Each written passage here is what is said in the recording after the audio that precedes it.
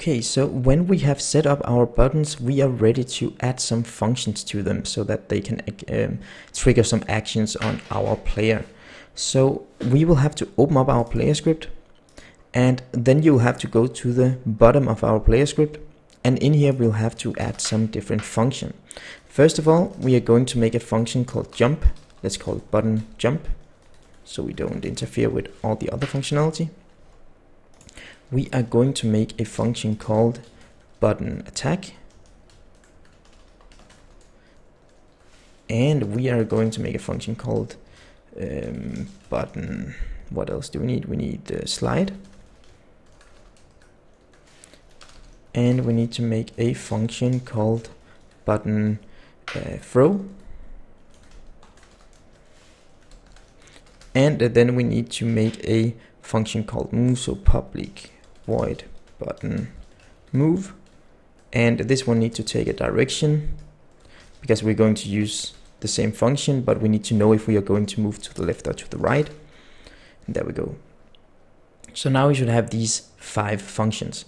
So now that we have created the structure of our functions we can start implementing them. So let's take one function at a time and then test it before we move on to the next one so that we're sure that everything works as it should First of all, we need to implement the jump button. So the first thing we have to do is to add or is to access the animator. And on the animator, we'll simply have to say my animator.set trigger jump because we are using this jump trigger to make sure that the player is jumping. Besides that, we also have a boolean that keeps track of if we're jumping or not. So we'll also have to say is uh, jump or jump it's called jump is true. So now we know that we are jumping. So let's save this. When we have done this, we will have to assign the jump button in Unity to this function here. So if we go back here, let's try to move the inspector so you guys can also see something. So we have this on click event. If I go to my hierarchy and select the jump button, then you'll see in the button of the button script, we have an on-click event. And this event is triggered whenever I go to my game and click on this button here. So I will have to make sure that I trigger the right function. So to do that, we'll have to click on the little plus here to add a new function. And then you will have to move it one more time. Then you'll have to find your player and take the player object because the script is sitting on our player. You have the player script here and it's actually sitting there what we need to drag onto it. So if we select our jump button, then we can take our player and drag him onto the empty slot here in the onClick event. And when you have done that, you can select the function, go to the player script, and then find the button jump function. So now we have assigned this jump button to the player's jump function here. So it will be triggered whenever we actually um, um, yeah, when we actually click on that button. So let's see, can we put this back in place? Ah, I'll do that later. So now we have our inspector here instead. Anyway, um, if we play the game now, the player should jump when I click this. And as you can see now, when I click the jump button, he is actually also jumping in the game and we can also run and we can jump at the same time as you can see here. Okay, so that was implementation of the jump button. The next thing we'll have to implement is our um, slide, for example. Let's see what the next thing is actually. So that's our attack. Attack is fairly easy. That's just my animator dot set trigger attack. So let's save this and jump back into Unity and give me a sec I'm just gonna save my scene so that I don't crash. Or if I crash it's, it's still saved. Then we select the attack button. We take the event here click on the plus. We find the player. We drag the player onto the spot. We select the function and select player. And maybe this is a little off screen but then you find the button attack. And we play the game and let's see if we click the attack. Now he attacks. So when you have made sure that that works, you can jump back in here. Then we do the exact same thing with the slide. My animator, set trigger, slide. And we save this, go back in Unity, select the slide button, click on the plus, take the player and drag him onto this, select the function, player, and find the slide, button slide and we play the game. And remember you need to run while sliding. So if you run and slide you'll see he can still slide. And let's uh, add the throw. On the throw button you write my animator dot set trigger throw. I think you are getting the hang of this. And you save jump back into unity select the throw button take the uh, click the plus first of course. Take the player drag him onto the empty spot. Function player button throw. And then we play the game again. And we test that throw works it doesn't. Parameter throw does not exist. So let's see what I called my throw parameter. I can click on my player and go to my animator and see. It is called throw I have misspelled it of course so here I wrote throw wrong there we go so if you also misspelled it, of course, go in and um, correct it because I had four or whatever I spelled there. Of course, it needs to be throw. So let's test one more time. Save. Jump back into the game. And let's see if I click the button. Yeah, now he throws everything. I can jump and I can throw at the same time and everything. Okay, so that was the easy part. The next thing we need to do is to make sure that our player can move and our move is a little different than the others because we need to add a little more function, uh, a little more things to it before we can move on our buttons. First of all, we will have to use this direction to indicate what direction we are running. So the left button should of course give us minus one and the right one should give us plus one. So um, let's make a um, field up here in the top. Let's make a private field called uh, not field private float called direction and this direction will hold the direction that we are pressing on our button. so if we go back down here we can say this dot direction equals direction okay so now we are actually setting our direction besides that we'll also have to create another um, boolean that is called move so that we know if we need to move or not while pressing the button. So let's go back up here to our fields and under direction make a private bool called move. And this move will have to be set to true in our um, move function here. So we say this dot move equals true. So we know that we're moving. So this is our button move script function. Uh, we will have to jump to our um, let's find it here fixed update. And in here we'll have to change a few things or add a few things at least. First of all let's make an if statement here that says if move. So if we are moving with our buttons we have to execute some specific code here. And else else we'll have to um, run this code here so this code here is for moving with our arrow keys. This code up here is for moving with our buttons.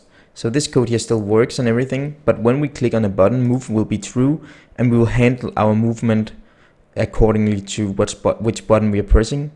But when we're not pressing any buttons, we can handle our movement down here with the normal uh, horizontal um, input. Okay, so first of all, we can call the flip function. We can say flip and use the direction here. So now we should be able to flip our character if, if we call the function out there. So let's try to save this and jump back into Unity because right now we are checking, well, are we moving? When we click a button, move is true. And then we flip using the direction and the direction, well, we get the direction from our button right here. So you'll see how it works in a, in a second. So we're not going to use the normal trigger on our buttons. Let's try the lift button first. So first of all, we're not going to use the on click here. We are going to add an event trigger where we can use some other events to move around. So we'll have to click on the left button, click add component and write event. And then you'll see there's something called an event trigger. And under that trigger, we can add some other um, events. For example, we can add a pointer up event and a pointer down. On click is basically a click on a button uh, when you point down, but we can actually also look, um, or, or we can actually check if we let go of the pointer here. So we're going to use that instead. So click add new event type and then click on pointer down. And on pointer down, we can click the little plus and we can take our player and drag onto the empty spot, find the function player and find that one called button move. And you'll see it asks for a float here because we created the function like so that it wants a direction. So when we click the button, we need to give in this direction as a parameter. So here we can actually say if we want to go to the left, well, then we can say minus one. So we know we're going to the left. When we have done that, we can also click on the right button and add component, event trigger, click add event type, go to, um, let's see, pointer down and click the plus, take the player and drag him onto here and then select the function player and find the move again, button move and give positive one instead, just one. I can see that my buttons are turned wrong. Um, the right button comes before the left one is to the left. So we just change the places here. As you can see, if we swap the places here in the hierarchy, well then they also switch places here. So it makes more sense that the left button is, is to the left and the right button is to the right. Okay, let's try this. If I play this and I click here, the character flips. So now you can see we can flip the character in another direction by clicking the buttons now. But of course we can't move yet because we haven't added that functionality uh, yet. But you should be able to, to flip him now. Okay, so the button move is basically done, but we'll have to go up to our, um, what's called, fixed update here. Because inside fixed update, we'll have to add some more functionality to move here. First of all, we will need to handle our movement. Down here we are handling our movement by using the horizontal axis, but we need to handle our movement by using our direction. So we'll do this in two steps. First of all, I'll, I'll show you how to just make him move. We can say handle movement in here.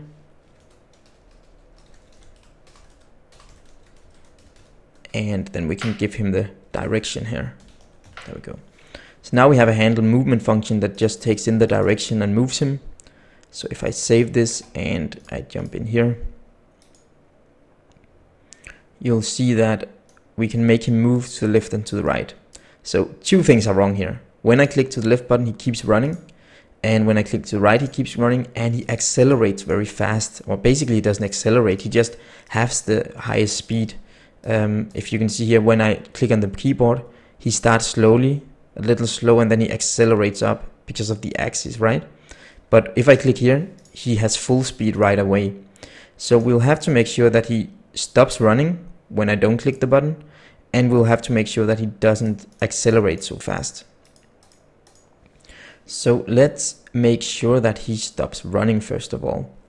Um, so we will have to add another function in the bottom here called public void stop, nah, let's call it button stop move. And this function here should make him stop moving when we let go of the button here.